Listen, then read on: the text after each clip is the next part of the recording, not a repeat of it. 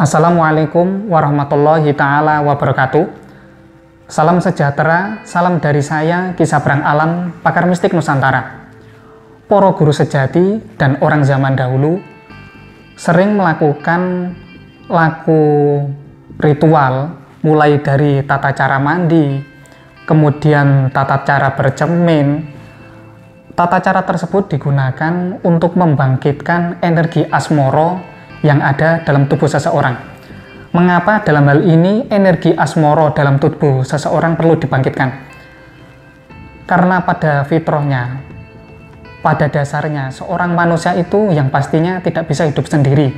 Mereka membutuhkan bantuan orang lain. Dan bagaimana caranya agar orang yang berada di sekitar Anda bisa lebih menyayangi Anda, bisa lebih menghormati Anda, dan setiap apa pun kata-kata yang Anda ucapkan setidaknya bisa menjadi petua ataupun nantinya yang Anda ucapkan bisa menjadi daya tarik. Dan daya tarik ini eh, dan daya tarik ini yang akan menjadikan pesona tersendiri untuk diri Anda dan ketika setiap ucapan ataupun kata-kata yang Anda ucapkan dapat didengar setidaknya orang tersebut akan menuruti apa pun yang Anda hajatkan. Dan para guru sejati, salah satunya mengajarkan laku mandi dengan menggunakan kembang setaman ataupun kembang telon dengan tujuan yang pertama, setiap guyurannya bisa menghilangkan semua energi negatif yang berada dalam tubuh. Kemudian, kembang tersebut digunakan sebagai sarana wewangian agar badan ingsun, badan seseorang tersebut bisa menjadi wangi. Karena pada zaman dahulu belum ada kosmetik, belum ada wewangian, makanya poro guru sejati melakukan hal tersebut dengan menggunakan wewangian secara alami. Dan kali ini saya ingin menjelaskan beberapa cara bagaimana caranya membangkitkan energi asmoro yang ada dalam tubuh seseorang. Namun untuk kali ini saya khususkan untuk seorang wanita. Seseorang wanita ketika mandi, hal tersebut mungkin kalau tidak ingin menggunakan wewangian seperti bunga-bungaan, yang paling terpenting ketika mengguyurkan harus ada laku montro, laku jopo montro yang diucapkan. Yang kedua, ketika bercermin juga ada laku jopo dengan tujuan untuk membangkitkan energi asmoro yang berada dalam muka kita agar mukanya lebih bersinar. Secara batinia orang yang melihat bisa melihat auranya dan orangnya nampak begitu spesial meskipun orangnya tidak begitu cantik. Dan untuk wanita yang biasa menggunakan bedak bedak ini sebenarnya bisa digunakan untuk laku membangkitkan energi asmoro yang ada pada pasuryan yang ada pada wajah tata lakunya sebelumnya Beda ini di Asma dengan bacaan uh, kitab manakib Syekh Abdul Qadir Jilani yang ada dalam kitab Jawahirul Ma'ani. Dalam keterangan di sini dijelaskan ada beberapa faedah mengenai manfaat ketika membaca kitab Jawahirul Ma'ani. Salah satunya dipergunakan untuk seseorang yang dalam hal ini belum mendapatkan jodoh. Dalam pasal 16, dalam hal ini dijelaskan supaya enggal oleh bojo, supaya cepat mendapatkan jodoh. Moco manakib ono wedak, membaca kitab manakib ini yang berada di Wedak. Nuli wedake ginawe pupuran.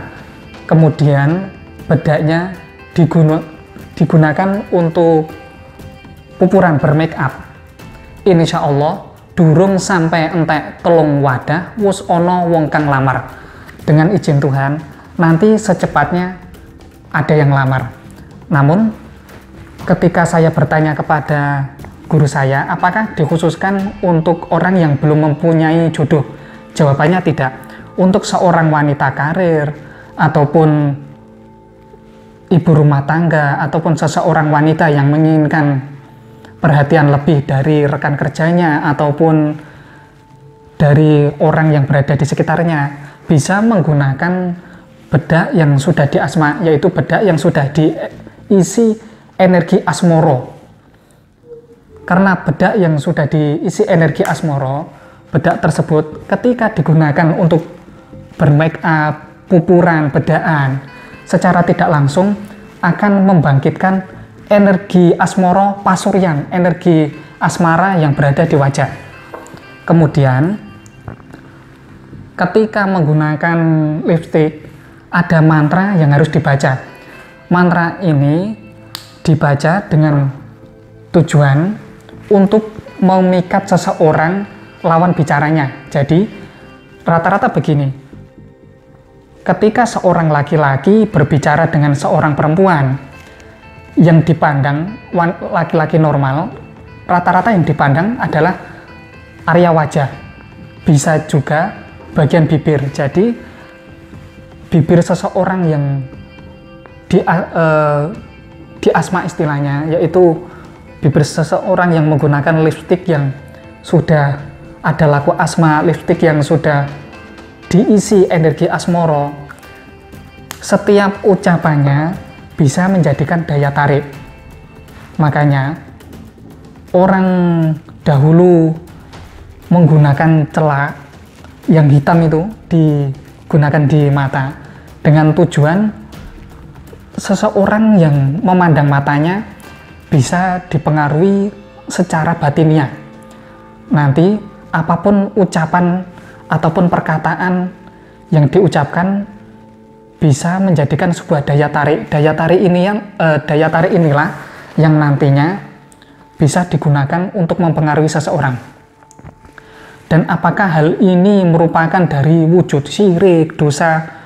Menurut saya tidak, karena dalam hal ini kita memanfaatkan energi doa yang ada dalam kitab Jawahirul Ma'ani. Kita bertawasul sama Syekh Abdul Qadir Jilani agar beliau berkenan memberikan ataupun mengisikan energi asmoro yang berada dalam bedak. Untuk hal ini, untuk Anda yang orang awam bisa melakukannya, namun tahapannya lebih dahulu melakukan laku riado, laku puasa ataupun laku Jopo Montro. Keluarga saya, buyut saya, kakek saya dahulunya melakukan laku ini dengan cara mandi. Pada waktu mandinya ada laku montro, laku jopo yang dijalankan. Dengan tujuan nantinya orang yang melihatnya bisa dipengaruhi. Karena pada zaman dahulu mbah saya berjualan keliling jadi untuk menaklukkan ataupun memberikan kesan menyenangkan untuk para calon pembelinya dengan cara laku Jopo Montro Jopo Montro ini dijalankan ketika akan mandi dan untuk hal ini memang membutuhkan pembelajaran khusus.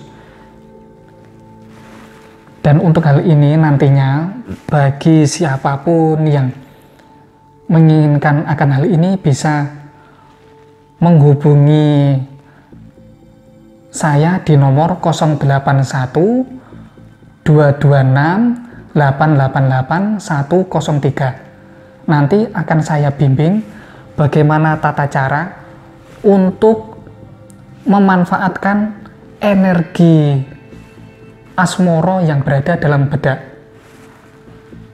Menurut saya, orang bisa kelihatan lebih menyenangkan, lebih bisa dicintai seseorang. Tata caranya banyak, bukan hanya dengan cara bermake up. Terkadang banyak yang menggunakan make up, namun kelihatannya malah seperti kayak norak ataupun terlalu berlebihan yang nantinya menjadikan seorang laki-laki itu gilo ataupun ilfil mungkin sebutannya. Jadi dalam hal ini jika Anda ingin melestarikan kebudayaan Jawi, hal ini kan merupakan dari kebudayaan Jawa dan kebudayaan tidak bertentangan dengan syariat Islam. Karena kebudayaan ini merupakan perwujudan ijtihad dari poro guru sejati jadi memanfaatkan ijtihad dari poro guru sejati diperbolehkan selama dengan niatan dan tujuan bahwa bedak ini bedak yang sudah diasma merupakan sarana membangkitkan energi asmoro bukan yang mengabulkan karena yang mutlak mengabulkan hanya Gusti Pangwasaning Jagat untuk hal ini untuk saat ini yang dapat saya sampaikan, kurang lebihnya saya mohon maaf.